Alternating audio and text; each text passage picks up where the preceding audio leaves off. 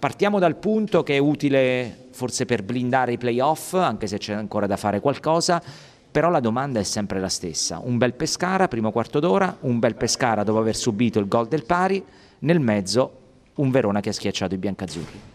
Ah, io credo che abbiamo giocato contro una grande squadra oggi. Il Verona ha creato una serie di palle gol. Eh, Fiorillo, il nostro portiere, penso che abbia fatto tre o quattro interventi importanti. Sapevamo perché Verona è, è stato costruito per vincerlo questo campionato. Però al di là di questo noi facciamo sempre gli stessi errori, perché facciamo il gol e poi pensiamo di poterlo portare fino alla fine. Cioè, a un certo punto eh, eravamo, non, riuscia, non riuscivamo ad uscire, poi il mister ha fatto un paio di cambi e alla fine paradossalmente col, al di là del gol che abbiamo preso subito però col 3-5-2 abbiamo giocato meglio, uh, il Verona è anche calato un po' e noi abbiamo avuto due o tre occasioni per poterla vincere, però credo che sostanzialmente il risultato sia giusto. Contento del punto in chiave playoff? Sì, contento, per come è andata la partita si poteva fare anche qualcosa in più, però contento perché un punto contro il Verona secondo me è un buon punto considerando che eh, siamo a tre partite dalla fine, quindi perlomeno abbiamo la possibilità nelle ultime due di fare due buone gare e magari di mantenere una posizione nei playoff importante. Ricordando che il quinto e il sesto posto permettono di giocare in casa la partita secca. È già una cosa molto importante, soprattutto due risultati su tre. Sottil e Bettella si stanno confermando ad altissimi livelli, può essere una risposta a chi li aveva accusato di non aver fatto un bel mercato di gennaio?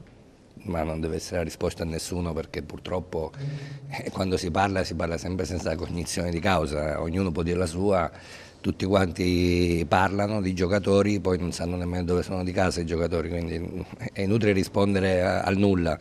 Eh, chi vede i giocatori sa che sono giocatori bravi, sono due ragazzi giovani che stanno facendo molto bene e questa è la, per noi è una soddisfazione, però non è che dobbiamo rispondere a nessuno perché poi eh, ci sono giocatori che stanno facendo bene, giocatori che stanno facendo meno bene, sarebbe una polemica aperta infinita. Noi dobbiamo guardare in casa nostra, quello che dice la gente rimane, rimangono chiacchiere. 9.939 paganti, ne erano poco più di 9.009 con l'Ascoli, quindi, 9.000 con l'Ascoli, quindi diciamo record stagionale.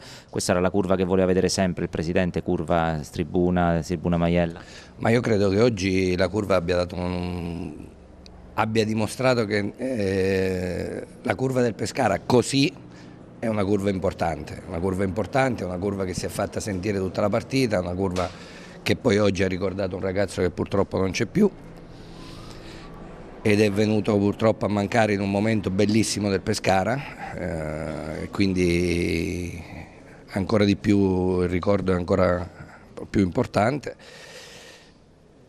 Però è chiaro che se, se vuoi spingere la squadra ci vuole lo stadio pieno, eh, non possiamo arrivare solo adesso se facciamo i playoff, eh, arriva, arrivano 12.000, 13.000, eh, in altri stadi ci sono sempre, quindi questo si, si vede perché poi il pubblico è il dodicesimo uomo se fa quello che ha fatto oggi, se no eh, fai fatica. L'ultima Presidente, in chiave play, in prospettiva playoff, lei ha detto il Verona è una squadra forte, abituata, costruita per vincere, io credo che si possa dire lo stesso del Benevento e anche del Palermo che oggi ha fatto un po' fatica a Livorno, bisogna giocare contro queste playoff, vedendo come ha sofferto il Pescara in quella fase centrale di oggi, è solo una questione di atteggiamento oppure c'è un gap tecnico grande?